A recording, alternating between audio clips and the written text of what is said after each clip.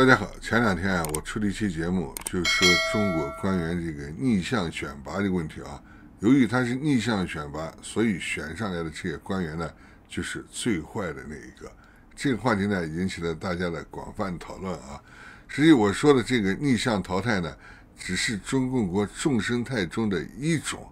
实际现在还有一种思潮呀，对这一代人是影响非常大的。那么这个就是文革思潮。有人说呀，文革呢就像是一场瘟疫，经过文革的洗礼呢，有人终身免疫，有人呢终身带毒。我呀，深深的赞同这种观念，因为我以前在节目中呀也说过很多次，就是说中国怎么变好呢？也许我们这代人啊全部都死去以后，可能才会变好。而且我经常举例子啊，就拿那个摩西出埃及那个例子。就说那一代犹太人啊，他必须要在旷野上游荡四十年，而且通通死去以后，他们才能到达迦南福地。跟现在中国的这个情况呀是有近似的地方。就是文革这一代如果不死去，那么这种文革思潮呀，它将无法消除，总是以各种方式呢沉渣泛起吧。最近网上呢还流传了一张照片。我觉得呢也挺有代表性的，就是洪小兵的照片，而且网民评论啊也是一针见血，说呀他们也许是你的上一代，他们也许呢还是你们的下一代。我觉得这个啊说的比较中肯。看看现在中国这种五毛粉红的做派，那和当年的红卫兵有什么差距呢？对不对？甚至都达到了义和团的那个程度。看看中国现在这个舆论场上呀。批判莫言的，宣传文革那一套思想的，甚至他们已经到了什么程度呢？连胡锡进也开始批判了。这两天还有人说呀，准备起诉胡锡进。所以啊，这种文革思潮呢，在不断的泛起。那么为什么会是这样的？那么姜太公啊，在做节目的时候呢，我一般是一种聊天的风格吧，就是跟大家来聊这个事情啊。那么这两天呢，网上有一篇文章。我觉得非常好。实际我对这些能写的人啊，我是比较佩服的。因为我做节目的时候呢，我一般没有什么草稿，大不了呢是找一些资料，偶尔列个提纲，就是这种闲聊的风格啊。那么我看到这种好的文章呢，我也是由衷的佩服，我也想拿出来呀跟大家分享。那么这篇文章是啥呢？它的题目叫《后发的文革恶果》，就是说现在啊，虽然文革结束了。但是文革的这个恶果呀，现在还在显现。大家想想，十二年前温家宝总理退休的时候，他当时就说呀：“现在文革思潮呢又在回头，而且他说呀，政治体制的改革不能跟上呀，你经济体制改革取得的成果呀，也将丧失殆尽。”实际温家宝这句话呢，也是一语成谶。看看今天的中国，那是不是这个样子呢？对不对？我们看他这个文章啊，他在这个第一小段呢，他就讲出来中国官员的这个情况。我觉得这个稿子啊，跟我前几天谈的那个中国的逆向淘汰啊，还是有点相互对应的。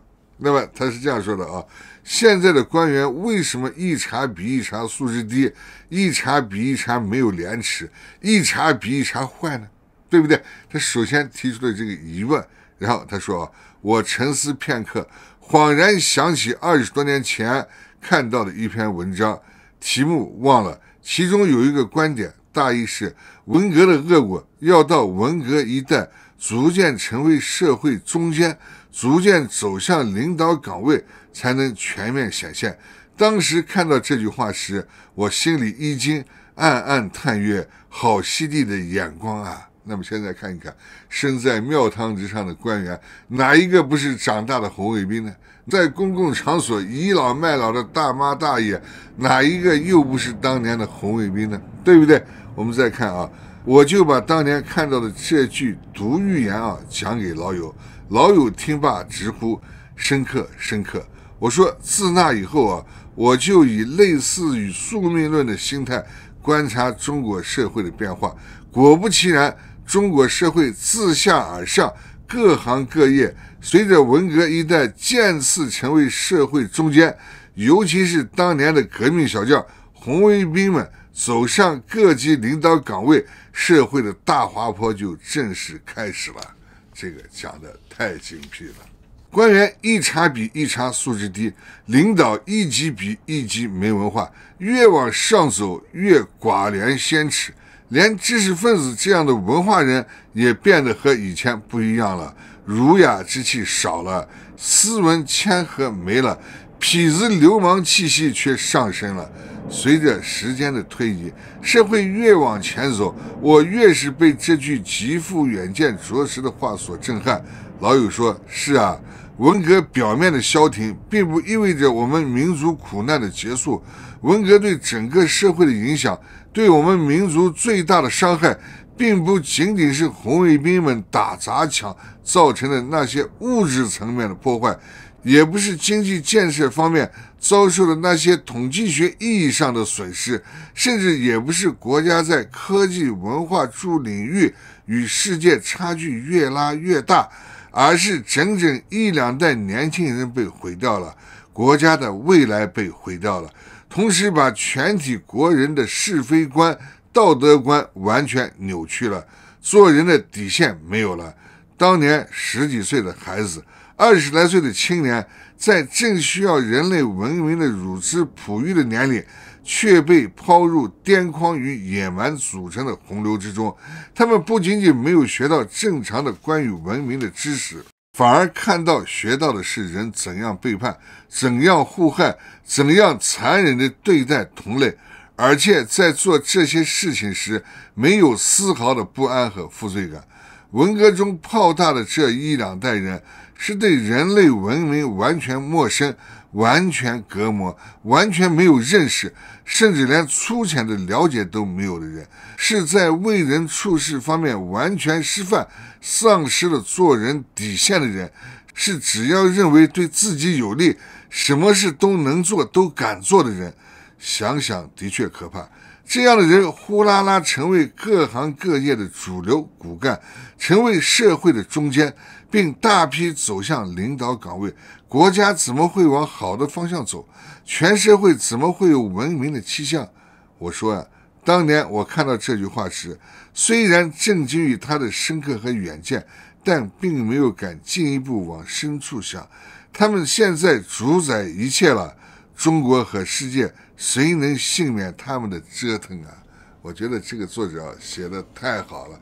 实际他把我想说的话啊，也是用这篇文章呀一气呵成，所以啊，我拿出来给大家看一下。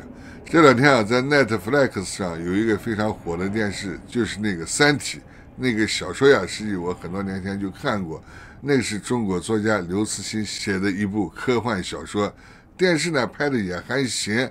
但是这个电视一开始呀，就播了一段文革时期啊批斗这个教授的场面，在电视剧中呢也屡次出现这个文革的画面，所以呢，现在国内的这些五毛粉红啊不干了，就说刘慈欣写这个小说呀是丑化我们中国人，可以说是辱华吧，而且说 Netflix 呢播放这个电视剧啊也有辱华的意思，所以号召全国人民呢抵制这部电视剧。你想想，已经到什么程度了？